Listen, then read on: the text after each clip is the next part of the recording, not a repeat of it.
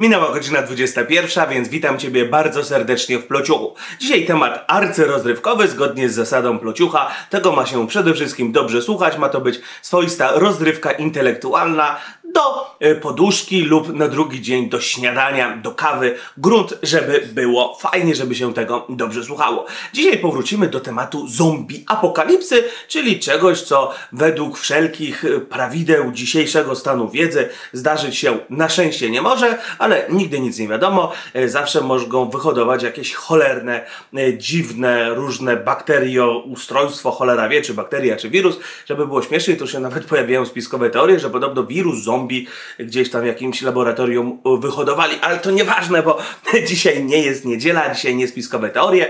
Dzisiaj sobie załóżmy taką ewentualność, że oto mamy apokalipsę zombie i chcemy wybrać najlepszą broń na zombie apokalipsę.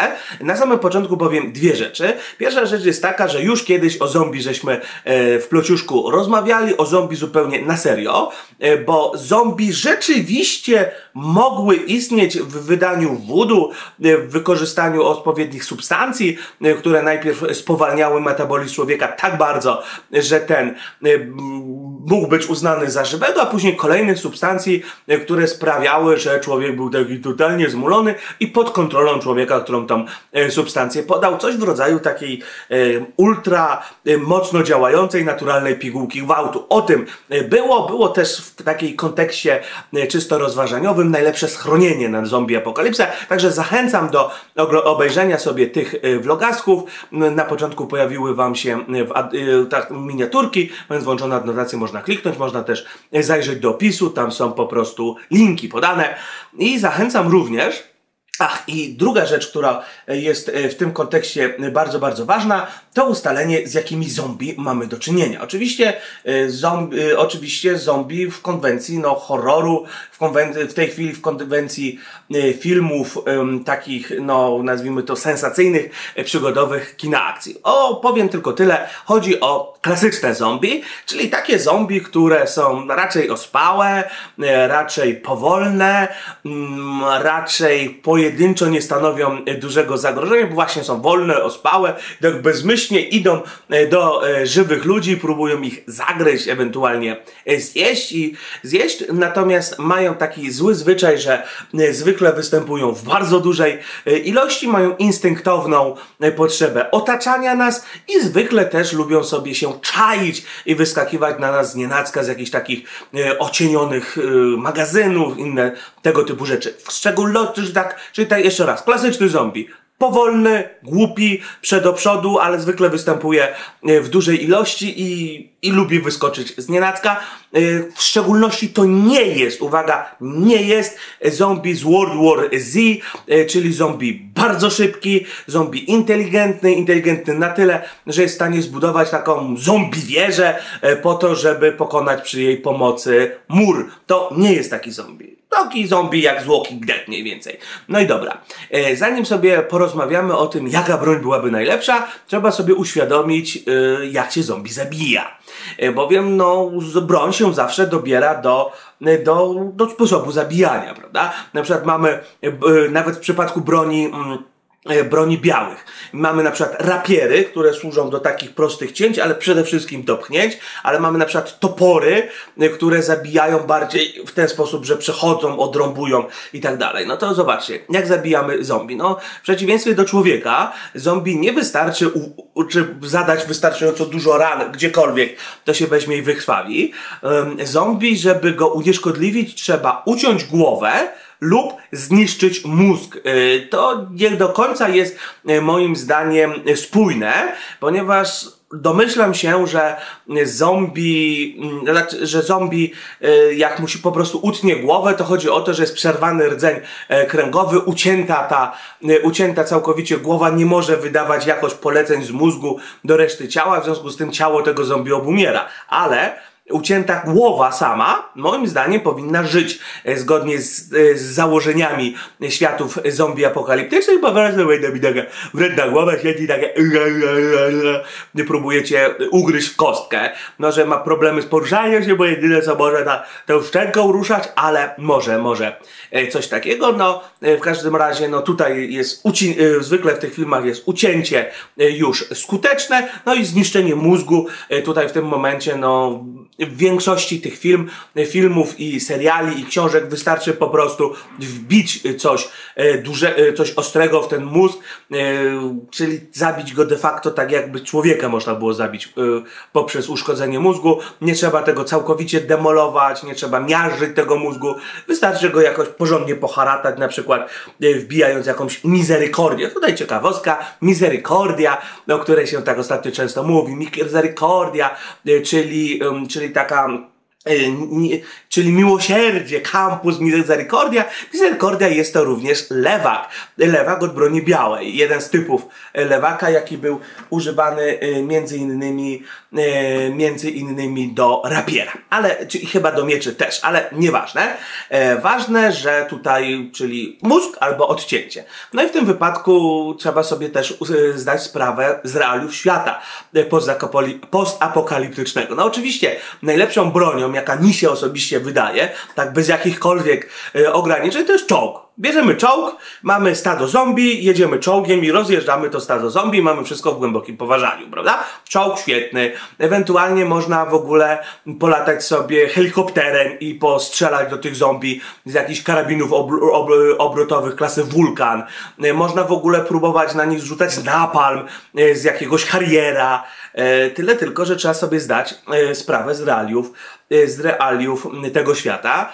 No, zwykle nie ma infrastruktury. No, oczywiście wszystko, co lata jest z definicji bardzo, e, po, po, bardzo dużo tej infrastruktury potrzebuje, to co jeździ trochę mniej, niemniej jednak nawet do czołgu bardzo szybko skończy się paliwo, e, no i oczywiście amunicja, no braki w paliwie i braki w amunicji to jest coś, e, z czym się trzeba będzie borykać cały czas. I o ile znalezienie amunicji do jakiegoś karabinka, e, do jakiegoś e, pistoletu maszynowego, pistoletu zwykłego czy e, czegokolwiek jest w, przynajmniej w początkowej fazie świata post-apo możliwe i takie dość w miarę, w miarę normalne, y, bo przecież są jakieś y, sklepy dla, y, z militariami i tak dalej, zwłaszcza w krajach takich, w których broń nie jest aż tak strasznie trudno dostępna jak w Polsce i tych sklepów jest po prostu zdecydowanie więcej, prawda? No o tyle paliwo lotnicze, umiejętność zatankowania tego samolotu, no i przede wszystkim takie proste rzeczy, no ilu z Was umie latać myśliwcem? Ilu z Was umie latać helikopterem? No i myślicie, że to jest takie proste jak w Matrixie, y, że, że ktoś wam wgra obsługę helikoptera, albo że przeczytacie sobie nawet podręcznik i się nauczycie. No nie. No prędzej no, można się nauczyć jeździć czołgiem, ale już tak jak mówię, cholerstwo zużywa całą masę paliwa. W praktyce więc Raczej, oczywiście poza jakimiś tam sytuacjami typu, że jesteśmy dużą grupą i nie wiem, opanowaliśmy jakąś bazę militarną, a raczej będzie chodziło o wyposażenie pojedynczego e, człowieka, prawda? Czyli taka broń dla siebie, chociaż oczywiście, nawet jak w wielu tych serialach było, chyba w Walking Dead, przez chwilę mieli czołg, prawda? E, no ale mogli go używać określoną liczbę razy, potem zabrakło paliwa. E, chociaż to też jest nie do końca takie, no czołg dużo więcej żre tego paliwa niż osobowy oczywiście, no ale skoro było paliwo do osobowych, czołg przecież chyba na, na, na, na dieslu jest, tak? Czyli na olej napędowy. Ale nieważne. No, ciąg do tego jeszcze będzie niesamowicie hałasował, więc rozjedziemy jedną grupę zombie, to przyjdzie więcej zombie i tak, taka trochę e, robota głupiego, no bo będą cały czas przychodzić, przychodzić, przychodzić. Jedyne to by było dobre do czyszczenia obszaru zombie. Dobra. Teraz tak. E, trzeba się zastanowić e, nad tym, no to ja już mamy kwestię broń taka, e, powiedziałbym, do noszenia przy sobie. I teraz mamy kilka zasadniczych typów broni. Pierwszy podział na broń palną oraz broń białą. E, przede wszystkim e, zastanówmy się nad bronią białą e, na początku. No, wydaje się, że broń biała ma jedną zasadniczą przewagę.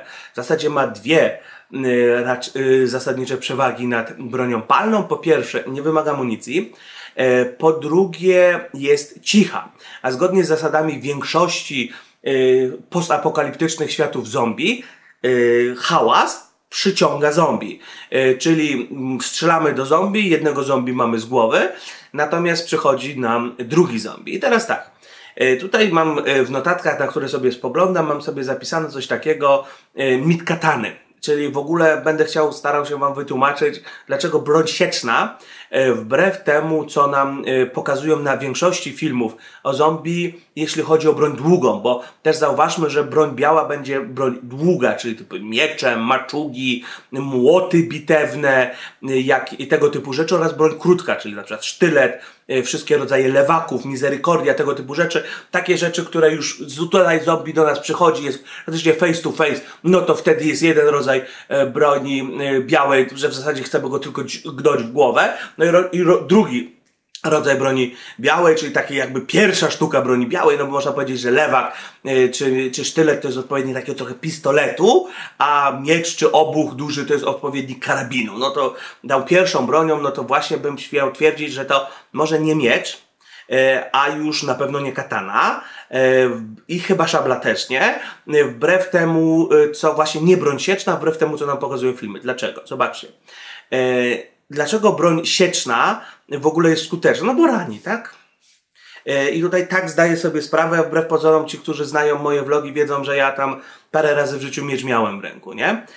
Średniowieczne miecze przede wszystkim nie były Y, nie, przede wszystkim nie były ostre, tylko przed, europejskie średniowieczne miecze przede wszystkim nie były ostre, tylko przede wszystkim były ciężkie i wkładało się cienkim mieczem bardzo dużo energii, która po prostu przechodziła przez pancerz, nie? Dlatego tam po, pod pancerzem były takie, yy, takie yy, takie pikowane różne materiałowe rzeczy, które miały sprawić, żeby ta energia się rozłożyła na jak największej powierzchni itd., itd., itd. W przypadku, y, ale natomiast broń taka jak szabla, y, czy broń taka jak rapier, no to miały ranić, zadawać rany kłute. Rapier w szczególności miał kłuć, prawda? No to jak się człowiekowi przekuje serce, to on ginie. Jak się człowiekowi odetnie rękę, no to on już dalej raczej nie walczy. Jak się człowiekowi podetnie tylko gardło, no to on się wykrwawia na śmierć. A co się wtedy dzieje z zombie? Idzie na ciebie cały czas dalej. Zombie musisz albo rozwalić głowę, yy, albo musisz mu uciąć głowę. I teraz tak, w przypadku, tak jak nam pokazują na filmach, no to nie ma problemu, bierzesz katanem, machasz, E, przecież katany są takie zajebiste, takie ostre, że w ogóle można przeciąć kolesia na pół, e, a uciąć głowę to jest w ogóle żaden problem, więc o co chodzi? Tylko brać katanę, brać katanę, brać katanę. Cała masa ludzi, jest w internecie cała masa filmików, jak samuraj stoi z kataną, taki współczesny samuraj i tnie taką matę idealnie po skosie, albo czasem na filmach promocyjnych Cold Steela tną w ogóle półtusze świniaka na pół, tak stoi, stoi, bach, nie? Jeszcze tak charakterystycznie rękę przekręca, nie? Tak bach. No, tak, rzeczywiście, no. Jak masz dobrą katanę, czy w ogóle dobre y, ostrze, możesz uciąć komuś głowę, y, możesz uciąć, y, możesz przeciąć półtuszę świńską, te maty samurajskie to jest w ogóle żaden problem przeciąć, tylko jakby to ładnie powiedzieć, to wszystko jest fajne. W momencie, w którym stoisz sobie w studiu, czy stoisz sobie na sali treningowej, masz kupę czasu, możesz się skupić, bach, no, I jak ci nie wyjdzie, to trudno. Trochę gorzej, jak w momencie, jak idzie na ciebie stado zombie dookoła, denerwujesz się, wtedy jeszcze powinieneś używać jednej ręki, bo w drugiej na przykład coś masz, prawda? E, no i w tym momencie jest problem. Problem taki, że cięcie może ci nie wyjść, jedno, drugie, trzecie, a jak do ciebie taki zombie dojdzie, no to już masz całkiem pozamiatane. Oraz drugi problem, o którym wiedzą wszyscy, którzy w realnym świecie mieli parę razy w życiu miecz w ręku. Miecz potrafi utknąć i on potrafi utknąć, wiecie, na przykład większość ludzi się na tym przekonuje, jak próbuje e, no, testować broń, tak? Że na przykład utknie ci w takiej półtuszy. Po prostu nie wyjdzie ci cięcie. I utknie ci w półtuszy, na przykład na kręgosłupie. No to później uwolnić taką broń to jest bardzo, bardzo ciężko.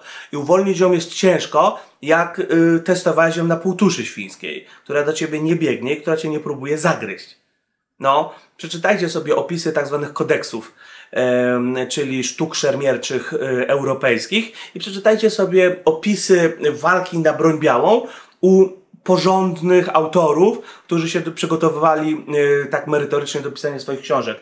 Możecie sobie na przykład przeczytać Pana Lodowego Ogrodu pana Lodowego Ogrodu, to Grzędowicz napisał, bardzo dobrze napisał, tam wiele razy opisywał, jak ktoś użył miecza i ten miecz utkwił mu w przeciwniku. I na przykład wyrąbał tutaj kawałek, nie mógł go wyciągnąć i przez to niestety zginął.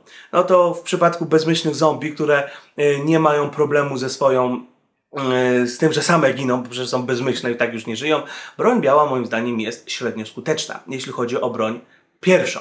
Dużo skuteczniejsze są oczywiście obuchy. Dlaczego? Ponieważ obuch ci nigdzie nie utkwi. Obuch po prostu bierzesz, napierdzielasz po głowie i miażdżysz tą głowę, miażdżysz mózg i w tym momencie, jak jest po prostu mózg zmiażdżony, to jest mózg zniszczony i tyle. Oczywiście, e, mu, e, oczywiście te obuchy też mogą być różne, prawda? Moim zdaniem powinny być to obuchy bez kolców, e, czyli po prostu kawał drąga, na końcu coś dużego i ciężkiego. Kula. Najlepiej kula, ponieważ kulą, no, kula się nie ma prawa w żaden sposób zaklinować. Natomiast wszelkie te kiścieje, czyli, czyli to też jest formalnie broń obuchowa, czyli kij, łańcuch i na końcu kulę, okej. Okay. Tylko gorzej, jak ci się na przykład yy, kładzie, to są różne. Yy, może być na przykład, może być, yy, może być jedna kula na łańcuchu, mogą być trzy, może być siedem. Zwłaszcza jak masz siedem, no to przecież ci się może gdzieś tam zawinąć wokół koło czegoś. No, no i normalnie to właśnie koleś dostał i tak już jest zamroczony, nie? Gorzej tutaj, że jak ci się to weźmie koło zombiego. Także coś sztywnego typu Morgenstern i bez kolcy na końcu, ponieważ taki kolec zawsze może ci gdzieś utkwić i możesz mieć później problemy z wyciągnięciem. Ale, co jest moim zdaniem jeszcze ważniejsze, na żadnym filmie tego nie widziałem e, i moim zdaniem jest to wielkie przeoczenie, w ogóle się zapomina o włóczni tarczy. E, przede wszystkim o włóczni. Zobaczcie, jaka jest najważniejsza moim zdaniem zasada walki z zombie? Żeby ten zombie był jak najdalej, nie? E, czyli no, podchodzić do niego z mieczem, no to już musisz podejść na odległość ramię plus miecz, prawda? Co najmniej. Podchodzisz do niego z obuchem, to też ramię plus obuch, z tą różnicą, że no obuch niestety ma wadę, więc musisz mieć tutaj kawałek ramienia, tak? Jakiegoś tam bicka i będzie ci się szybciej męczył. Z drugiej strony posługiwanie się obuchem jest łatwiejsze. E, natomiast najłatwiejsze moim zdaniem jest posługiwanie się włócznią. Włócznia może mieć 2 metry, po prostu podchodzisz do kolesia, jak jest jeszcze daleko, nie stanowi dla ciebie żadnego zagrożenia i bach, bach, bach, bach, nie? Takiego zombie, no. Moim zdaniem zombie najlepsza. Tak samo za, za, za, zapomniano o tarczach. Przecież e, często, przecież taki zombie e, zabić może ciebie tylko i wyłącznie tym, że cię ugryzie. Zombie nie mają żadnych sztyletów, którymi będą dźgali od góry, od dołu. Zombie nie kopią. Zombie jaka próbują za wszelką cenę cię ugryźć. I teraz zobacz. Masz zwykłą tarczę klasy pawęż. Pawęż, czyli to jest też nazywana e, tarczą, e, tarczą e, typu wieża, tower shield, a po polsku najładniej, łatwiej to sobie skojarzyć E, z tarczami, których używają e, oddziały szturmowe policji, do pacyfikowania na przykład demonstracji. Mają takie duże, prostokątne tarcze, nie? I w, drugiej, i w drugim ręku mają po prostu pałę, nie? Tak idzie i pała, pała, pała, pała. Ewentualnie kiedyś na Counter-Strike'u była taka tarcza i w drugim ręku miał pistolet, nie? E, tam to się chyba nazywało tarcza taktyczna i to chyba było w jakiś sposób jeszcze kuloodporne, nie? I teraz tak, ale taka normalna tarcza, ona może być z drewna chociażby, bo przecież zombie będzie, jak się postawimy taką tarczę na ziemi, zaprzemy się i zakładamy y, to w tym momencie po prostu taki zombie nie jest w stanie nas trafić, bo co najwyżej będzie miał tą tarczę pod brodą i tyle. I powstrzymujemy zombie. I robimy klasyczną tak, y, taktykę tarczownika. Możemy na przykład, jeżeli jesteśmy, jesteśmy dużą grupą, to w zasadzie wszędzie jesteśmy w stanie się obronić. Stajemy do siebie plecami, z przodu tarczę i stoimy a z drugiego, że w, w, środku jest koło i na przykład ludzie właśnie jakimiś włóczniami, czy jakimiś sztyletami, o których będzie za chwilę te zombie zabijają. Oczywiście to jest wersja trudniejsza do zrobienia, wersja łatwiejsza do zrobienia. Mamy jakieś otoczo mamy jakieś yy, oczyszczone i bezpieczne pomieszczenie. Wychodzimy w ten sposób, że otwieramy drzwi, jeden czy dwóch tarczowników zasłania, hałasujemy, przychodzą zombie, bach, bach, bach, bach, z pleców tych tarczowników e, w pełni bezpieczni. Moim zdaniem e, rzecz ważna. No oczywiście broń krótka, e, jeśli chodzi o broń białą, to tylko i wyłącznie ostrza. Krótkie, takie nie do cięcia, tylko do przebijania po prostu. Przebijania, yy, przebijania yy, czaszki. Tutaj będą się świetnie nad, nadawały wszystkie tego typu krótkie ostrza ze średniowiecza, ponieważ możecie, może sobie zdajecie sprawę, ale sztylety w średniowieczu właśnie bardzo często służyły do dobijania. E, misiurki, czyli mm, kolczugi były tak zrobione, że tutaj e, pod ramieniem była między innymi dziura. Po prostu, żeby się nie ciągnęło, to tutaj się robiło dziurę w korczudze i tutaj też nie było płyt pancernych. W związku z tym, jak był taki koleś ogłuszony, bo na przykład dostał w hełm, e, czy go zwaliło z konia, to, to podchodził taki drugi, podnosił mu rękę, tutaj było nieosłonięte i bach! wbijał mu, tutaj wszystko się rozwalało, tak? No jak, jak tutaj jest w stanie wszystko wejść, to jak dobrze to zrobimy, to na przykład przez oko, albo przez ucho, albo przez jakie, albo w ogóle tutaj, no, przecież te kości te zombie mają słabe, rozwalamy kolesiowi mózg, jeśli chodzi o zombie. Natomiast broń palna, no, broń palna teoretycznie jest najlepsza, e, ponieważ możemy rozwalać kolesia z, nie, z dużej odległości, teoretycznie gdzieś tam czytałem, słyszałem, że ze współczesnych snajperek można walić nawet na kilometr do dwóch kilometrów. Yy, tak, oczywiście trzeba, nie, nie można zapomnieć, że to, że broń coś umożliwia, to wcale nie znaczy, że my będziemy umieć. I ci snajperzy nie dlatego są e, tak długo szkoleni, że to wszystko jest takie banalne. E, to może od tego zacznijmy, no ale teoretycznie można. No, na pewno też można strzelać z broni palnej na kilkaset metrów, więc w zasadzie jesteśmy bezpieczni od takiego zombie, sobie idzie, idzie, idzie, bach i się przewraca. E, problem jest taki, że każda broń palna potrzebuje zasilenia. E, w przypadku no, klasycznej, to znaczy broń palna w ogóle potrzebuje amunicji, prawda? Natomiast dru, drugi typ broni, który tak mi się podobnie w działaniu, czyli na przykład miotacze ognia, no potrzebują po prostu paliwa. E, do tego jeszcze broń palna ma taki zły, zły efekt uboczny, że hałasuje. No to załatwiamy kilku tam zombie i przyciągamy e, uwagę kilku, którzy są w okolicy. Jeżeli mamy w okolicy duże stado zombie, to używanie broni palnej, lekkie samobójstwo, to ściągniemy jednego, przyjdzie, e, przyciągnie się dziesięciu. No i oczywiście e, najważniejszy problem jest taki, że no, amunicja jest skończona. E, po prostu tej amunicji no, znajdziemy ileś tam, no a i w początkowej fazie no to jeszcze możemy sobie pójść do jakiegoś tam sklepu amunicyjnego, nie wiem, opierdzielić komisariat policji, ale w pewnym momencie tej amunicji zacznie nam po prostu najzwyczajniej w świecie brakować. Tak samo jak paliwa do miotacza ognia. I miotacz ognia ma dodatkowo jeszcze jeden problem. E, jeżeli założymy, że mm, trzeba zniszczyć mózg lub odciąć komunikację w rdzeniu kręgowym, no to mówiąc krótko, taki zombie trzeba by go spalić. Nie wystarczy go podpalić tak jak człowieka. No i on się podpali, więc, yy, więc wiecie, no więc się podpali i umrze e, mrze, natomiast takiego zombie należałoby spalić doszczętnie. To, co chcę powiedzieć, to to, że nawet człowiek podpalony przez miotacz ognia przez jeszcze przez jakiś czas nie stanie biec. Jest taka słynna historia z armii radzieckiej, bodajże jak w czasie walk o Leningrad chyba, że właśnie jak, w czasie jakiegoś szturmu Niemcy tak zrobili, że po prostu cały żołnierze radzieccy zostali podpaleni, no ale nie rzucili się na ziemię, tylko cały czas mimo tego ognia zaczęli po prostu biec, szturmować dalej. Nie wiem ile w tym jest prawdy, ile w tym jest radzieckich przechwałek, ale no teoretycznie jest to możliwe, nie? Tak samo przy zombie jest to nie tylko możliwe, wręcz prawdopodobne, że on nie czuje bólu. Czyli podpalamy takiego zombie i póki on się całkowicie nie zjara, to on idzie dalej. Nie? Czyli, jest, no, czy, czy po prostu cały czas nas coraz bardziej osacza, osacza, osacza, osacza, osacza, osacza.